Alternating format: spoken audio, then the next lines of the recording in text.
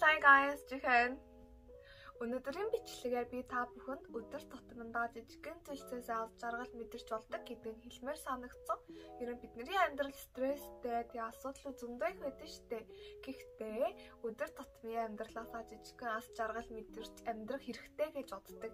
Ер нь хүн болгоных янз бүр байдаг. Тэгээд би өнөөдөр та бүхэнд миний мэдэрч яасан өдөр тутмын ас жаргал өгдөг моментсуудаасаа хуваалцъя гэж бодсон. Тэгээд ямар ч үсэн эхлэе. Эхлээд өглөө босоод хөршиг нэхэд нар тусахад гэж. За ерөнхийдөө бол өглөөний нарыг мэдрэн гэсэн үг л дээ. Одоо миний байж байгаа газар өмнө миний байсан газар айл айл нь өглөө айгүй гоё ингээд хөшөө нэхэд нар тусдаг гэсэн баггүй юу. Тэгээд өмнөх өдөр ингээд ядарсан ч тэгээд яг тэрийг өглөөний нар тулсангууд юм ядрах тэр амар болчихж байгаа юм чөө. Өнөөдөр гоё болно гэдэг тийм амар ихтэй болчдөг. Тэгэл амар ас жаргалтай болчдөг. Тэгээ дараачих нь болохоор амралтын өдөр одоо тийм өглөөний цай уухаас өмнө дуртай жимсээ идэх гэж аа. Би юу налимд их дуртай л да. Тэгээ өглөө босоод тэгээд альва нэг хацхад яг тэр тэр момент яг нэг хацхад тэр мэдрэмж бүр perfect. Тэгээ ойр талаар би мандрин orange хийдэж байгаа. Тэгээ өдрөө өглөө ингээд orange мандриныг илүүлэх бас айгүй гоё байдаг. Бүр ингээд happy болчдөг. За тэгээд гурав дахь нь болохоор гэрээ цэвэрлэж ээжтэйгээ диван дээр суунга халуун чансан кофе уух. Тэгэл амьдралаа яриад эсвэл дуугаа сонсдог ч юм уу те. Эсвэл өрөө гой цэвэрлэж халуун цай уух. Эсвэл кофе уух. Тэг аюу гой юмудаа цэвэрлсэн бүх юм ингээд цэгцтэй болоод тэгэл кофе уух. Бүр амгойд штий. Тэгээд дараачих нь болохоор бас санигтай төстэй аа ингээд зуны халуунд явжгаад ice americano. Би нэг удаа бүр амар халуузаа бүр ингээ уур хүрээ нервтэй болдоггүй. Тэгэл ice americano ун чин тэр уурлсан юм бүгд гон зөөр ингээд би хизээ уурлсан ингээмэр юм болцсон. Тэгэл яг тэр зуны халуунд явж байгаа нэг ice americano бүр perfect. Тавтах нь болохоор morning yoga гэж байгаа. Би ерөөхдөө бол өдрөө алга morning yoga, morning workout хийдэг. Тэгээд одоо ингээд шүн аягүй гоё унтчаад өглөө ингээд stretching хийхэд бас аягүй гоё ингээд өдрөө гоё эхлүүлмээр санагддаг шүү дээ.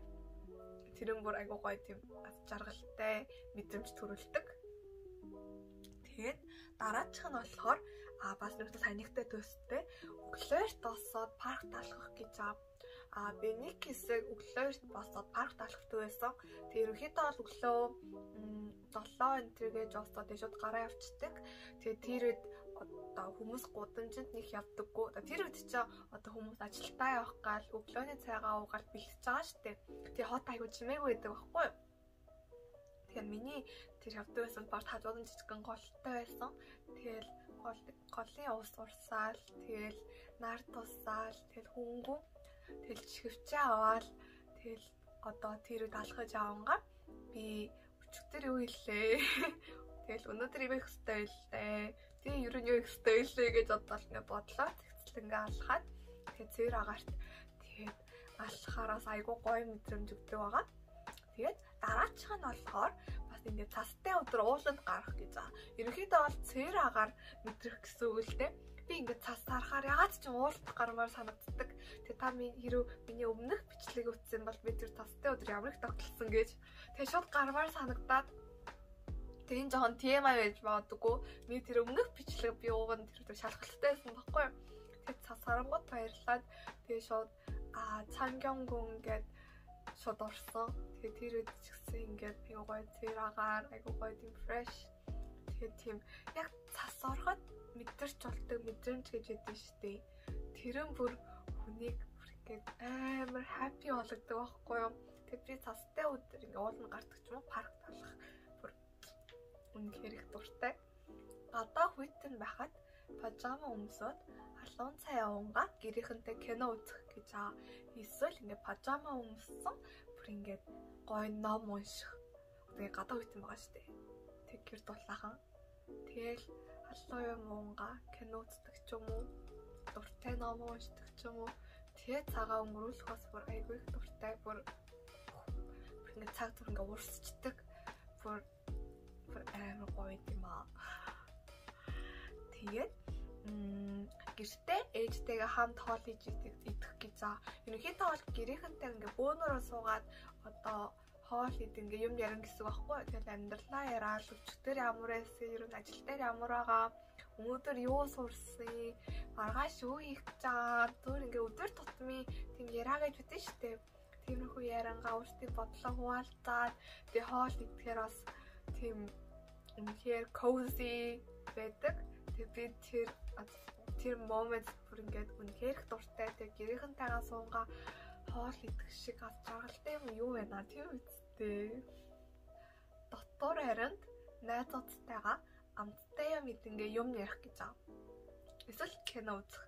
А өчигдөр би найзтайгаа чипс тэгээд дараа нь халуун цай уунгаа Harry Potter үзсэн. Harry Potter үзсэн. Harry Potter хэдий үлээ дөрөв үзсэн баггүй юу? Тэгэл би тор юм ярангаа хөө юм чи ингээд штэ тэгээд штэ ийм байсан билүү гэж яриад тэгэл чоколад идэл чипс идэл тэгэл төр зогсоогоод зогсоогоод ийж хоёлаа цай аваад ирэгээл тэл гараал цайгаа аваад ирээл тэгэл буцаа суугаад юм яриад кино дуусаад бас бага юм яриад тэгээ шөнө 1 2 хүртэл тэгэл нэгнийхээ өрөөнд тэл бага юм яриад тэгээ селфидээ тэгээ тэгээ сууж ахараас үнэхээр аз жаргалтай байдаг.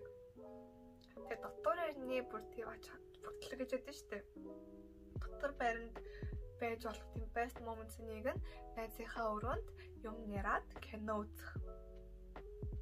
Бүр бас чаргалтай happy. Тэгээд аа дараа ч юм штэ. Би нөгөө ингээ лист гаргасан байхгүй юу? Тэгээд тэрийг харж байгаа. Усанд орчоод хүнжлийн даваг солиод тэгээд шинэ хүнжлээ ингээ давд ингээ унтах Яа амар гоё тий усан орсон тэг өмчлөн давгаа солилцсон тэг шинэ хүнжлийн давна гэдэг унтах. Тэгэл бүр ингээд шууд унтчихсан шүү дээ. Шууд гэд унтчихсан. Whatever. Ямар ч гэсэн шууд унтчихдаг. Тэгээд дараа аа усанд орчоод найз уцтай ч юм уу гэрээхэнтэй уцаар ярах одоо ерөнхийдөө бол би өдрөө болгон гэрийнхэнтэй уцаар ярьдаг, найзуудтай уцаар ярьдаг. Тэгээ ер нь бол зүгээр миний амьдралын үзрийн тийм нэг тийм daily routine нэг хэсэг байхгүй юу. Гэтэ бүр гэрийнхэнтэй уцаар ярихаар, найзуудтай уцаар ярихаар би бүр үнэхээр happy болцдог. Бүр ингээ өөрийнхөөрөө тэгээл амьдралаа яриад, өнөөдөр юу хийснийг яриад, тэгээ бас сонсоод Тэгэл ер нь бол ингээд 10 минут байсан чамаагүй ярихаар үндэ ингээд тайвширчдаг. Тэгэл уцаар ирцаал тэгэл унтцдаг. Ер нь бол миний өдөр болгонд өдөр болгоо одоо тийм daily routine хамгийн аз жаргалтай moments гэж хэлж болохоор дараачих нь болохоор дулаахан өдөр гадуур алхаж явах гэж аа. Эхнийх нь болохоор өглөөс босоо паркт алхах гэж гисэн юм байсан шүү дээ. Тэгээ энэ болохоор би ингээ ерөнхийдөө бол гадуур алхаж явахыг хичээдэг. Тэгээд одоо нэг тийм галаад улаахан жоохон салхитай тэгээ нар жаргаж байгаа бүр. Тэгэл явж захта оо энд юм байх нь оо энд тийм юм байх оо юм нэгцэн байх нь штэ гэл. Бас хараад тэгэл заримдаа чихвчтэй хаяа нөгөө чихвчгүй явна те. Тэгэл бас юм бодоол. Тэгээд алхаж явах айгүй их дуртай. Тэгээд дараачих нь болохоор орой болгоо саруу тарах гэж аа. Юу од болохоор нэг их харагддаггүй. Тэгээд би өөр ингээд хайдаг л даа заримдаа бүр ингээ үнэхээр тоо тарагддаг заримдаа тэг жоохон байдаг. Гэтэ бас ингээ харахад ингээ гоё байдаг. Тэг одоо миний байж байгаа газ ингээ гэрлээ унтраачхаар ингээ цонхоор харахад яг ингээ дээр сар байдаг. Тэг тэрийг хараад аа so nice гээл өөрийгөө тэгэл бодоол тэгэл айл болох зураг дарахнаас хичээгээл тэгэхээр бүрнээр гоё байдаг. Тэгээ сүүлийнх болохоор хин нэгнээс дулааг сонсох гэж аа Аа би ерөнхийдөө бол тийм баярлаа гэдэг үг нэг дуртай. Тэгээ хин нэг нь одоо ингээ баярлаа гэж хэлэх нөгөө нь мэдхгүй ч гэсэн одоо үнээр гоё мэдрэмж төрүүлдэг. Тэгээд би ч гэсэн айл болохоор ингээд жижигэн зүйлсээсэн чамаагүй баярлаа гэж хэлхийг хичээдэг. Тэр нь баярлаа гэдэг үг амар хүчтэй үг гэж боддог байгаа. Тэгээ хин нэгний одоо тийм мүүдийг тэр чигээр өөрчилж чадхаар тийм хүчтэй үг гэж боддог. Тий, тэгээд та бүхэн ч гэсэн баярлалаа. За тэгэхээр өнөөдрийн бичлэгээр би та бүхэнд миний одоо өдөр тутмын аз жаргал өгдөг моментуудаас хуваалцсан байгаа.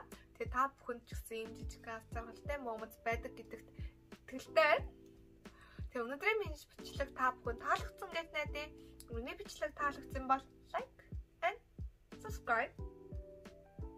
Тэгээ доороогоо bell icon-ыг дарахаа мартаа guys.